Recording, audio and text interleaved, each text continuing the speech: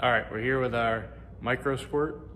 Um, this will be not going into this car because that would be illegal per the rules. So we're not gonna run it. But I bought this for, you know, just to have around, you know, we'll show it, we'll mock it up on this, you know, just uh, for the time being to show you guys, but I'll get more into detail. All right, so I got this from MMX. I'm a dealer for MMX, so I get a little bit cheaper. So EFI Source is the one who makes this. You can get this from Blackbird. Uh, Blackbird puts their own sticker on there. I'm assuming that they get it from them also. So this is going to be your main computer, the MicroSquirt. Um, shows you what the pinouts are on it. This is for a Gen 3 Hemi, so it comes with this harness. I believe they're 840 to the public. I'm pretty sure.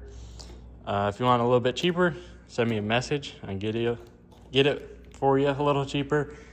Uh, but here's the hardest. I mean, this ignition module, or this is for your coil, your coil igniter module, not ignition module. Um, so this is pretty much just as big as that. So all this stuff this will be like underneath your dash or whatever, wherever you want to hide it. This is your connector. And this is just a little fuse and relay and a relay with a fuse. Don't know what's up with the double fuse. Um, so these are the only wires you have to connect to make it run as far as giving power to the system. All right, so we're back here with our system. I went and did some more research so I don't sound as dumb as usual. So, the big red wire, that goes to your battery, says on it. This is your ignition switch.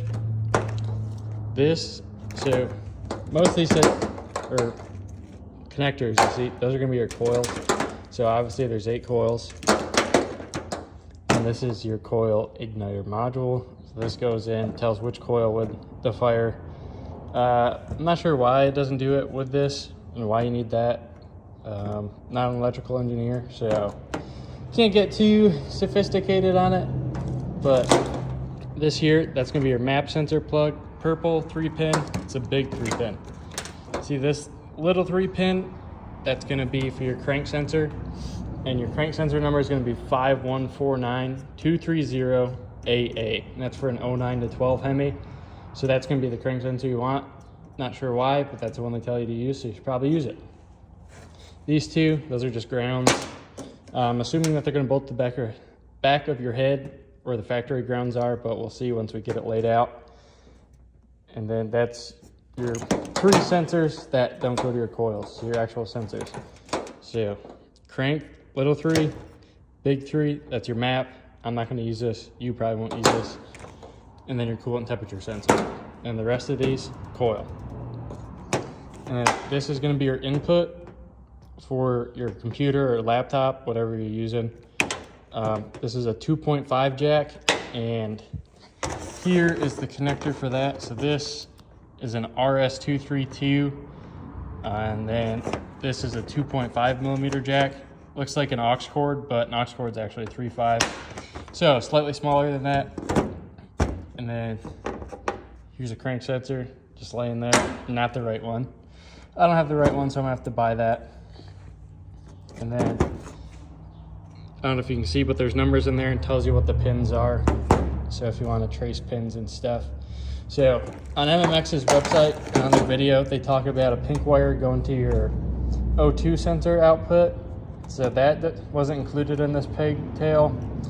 Not sure why, um, but what is in there is your fan wire, and that's gonna be your, it's gonna go to pin seven, and that's your white and yellow. So this one here, and that pin seven is called FIDLE, so it's uh, usually your, for your idle control. If you go into the MicroSquirt like manual, this is for idle control, so I'm not sure why it's fan, because this isn't a continuous like 12 volts to kick a fan on. So this would be like a, a varying voltage to control your idle. So I'm not sure why the fan wire's in there. And it's definitely not going to do anything for a carbureted setup. So that's odd that this is out. may have just been a mix up. So I'm assuming this is just a mix up. And then your green and yellow, that's gonna be your tach. This is an out. So this is an out and this is an out. Actually, all three of these are out, whereas one should be in from uh, what they say when you buy it. So this is your tach out, so this will just plug into your tach. And then this is the purple one is gonna be your fuel pump. And that's gonna be pin eight. This is these two are actually right next to each other in this connector. And I won't be using that. Uh, I'm gonna run a mechanical pump with a belt. Um, more than likely you're gonna need this because I doubt you'd wanna spend the money when you just get a cheap electric fuel pump. But that's their tach. That's a good one to have, obviously. This, this is useless. So I'm gonna pull this connector apart, pull this wire out, put it in pin 34, which is what the input of uh, wideband should be on the connector. Um, it doesn't really matter. I mean, I don't really need it. And more than likely, I'm not gonna data log because you have to buy another add-on for this, like a, something similar to this, you know, something separate. And I mean, it'd be nice to have, I can just run a wideband. I have a wideband, I can just put that in there and then read it. I mean, it's a little tricky to read while you're racing, but is what it is. So, I mean, I wrote down everything on here. So if you just want to pause the video and screenshot that or whatever, but just going through that. So yeah, and then they reference it. So in means like it's an in signal and then out means it's an output.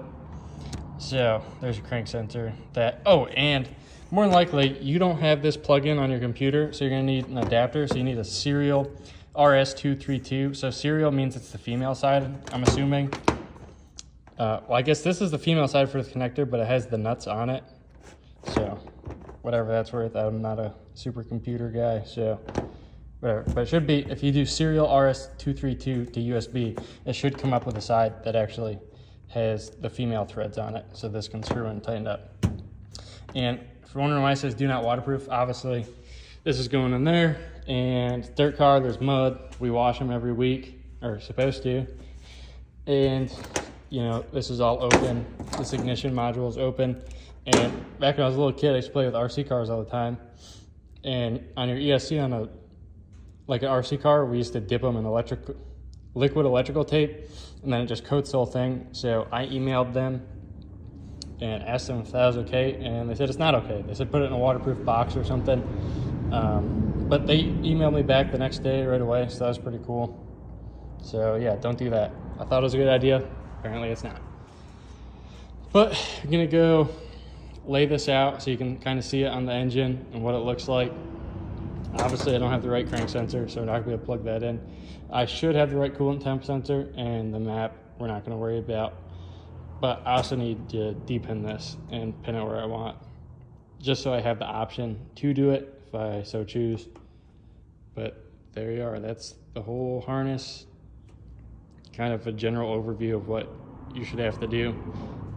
Okay, so this is where your, this, like on a factory car, this is a car timing cover car water pump.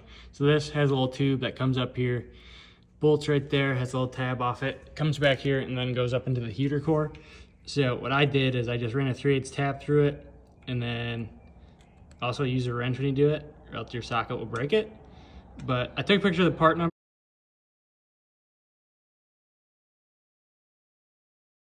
This is the, the, what the connector on the harness is designed for. As you can see, it has a bunch of tangs coming off of it and it's more of a square. The other style is more of a rectangle, so pop that on there, maybe.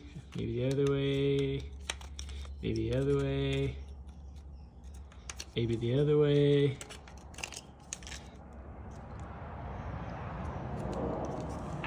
was like that. Boom, so it goes like that. Uh, but anyways, yeah, 3 8 pipe tap, tap that, put that sensor in, because this is where my gauges are going. So this is where that would normally be. And there's also one up here, but I think I'm gonna drill that out and put the bigger tap up in here, because this or this sensor is for the dummy light, so it's at 235 degrees, I'll kick that on for the gauges. But it's way too small down there. And up there, there's a lot more meat to do it. I also have that over there. I'm not exactly entirely sure what I'm gonna do yet. I just need to do something. But anyways, there's that. Then into your coils. Then your map is gonna remain unplugged over there and it'll look the same over there. Come over here. Go through the mid plate and it kind of kicks out and does a 90, so may have to pull a little more out. Run it down in there. Yeah, she'll work. But I need to go get one of those crank sensors. I thought I had one somewhere, but I don't know what I did with it. And yeah, so that just goes across. Yeah, I don't know. That's going to be pretty close to fitting. We got to try that out. All right, so this would be where it's going to end up going. I got to pull this coil and stuff out of there. Wash some bird poop off, you know, the usual. So this is going to be our main battery power, which is going to go to this side. That's where our main battery goes into.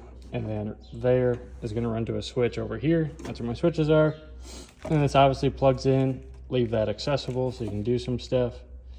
All these wires, we decided, other than the tachometer, nothing applies to me. So I already have it labeled and cut off to my tach. So that's going to plug into there. And then over here, I actually could route this back through the intake so it's not hanging out here in the front. Looks kind of goofy coming in, zigzagging, but goes out the front. And then, sure right here. So this is gonna go to your back of your head, just like the factory would, like I figured. And this is gonna 180 right there. So both heads, that's how the factory is. That's the map one. I'm probably just gonna cut that off. Um, yeah, or I might keep it because eventually Prefix is coming out with a distributor kit. It's in the prototype stage. Um, Jody Cash has been updating me on that. He does a lot of Mopar stuff in Circle Track, and he's got probably the nastiest Gen 3 that's going in a Circle Track car. So follow him on Facebook, Mopar Mafia Racing. Uh, he posts all his updates in there. So once I get that distributor kit, this is going to go away. I'm going to give it to my dad. My dad's going to put on his Dakota. Uh, that's just a street car. It's not a circle track car. But uh, come over here, nice and neat. And then where it splits off down here, for my application, I wish it was a tiny bit longer. You could, I'm not a huge fan of that bend, but most people aren't gonna have a mid plate. So that's kind of what's screwing me as far as keeping it nice and neat. But it does come with nice rubber grommet on there for that, so I could cut that out. Probably not going to, but there's a lot of stuff going on for a circle track car, but you want to run the best. That's what you got to do, right? So, if you like this, subscribe, like, turn on the notifications, stuff like that. And then you'll follow along and we'll update it and getting it running and all that stuff. Obviously, there's a lot of cleanup work, but I just want to show you kind of a general overview and what I found. Um, with the system itself, what it looks like on an engine. And if you're gonna, I mean, most people who follow me are dirt track guys, so if they wanna do this, things to look out for and such, and just how it's gonna look. But yeah, thanks for watching. We'll see you later.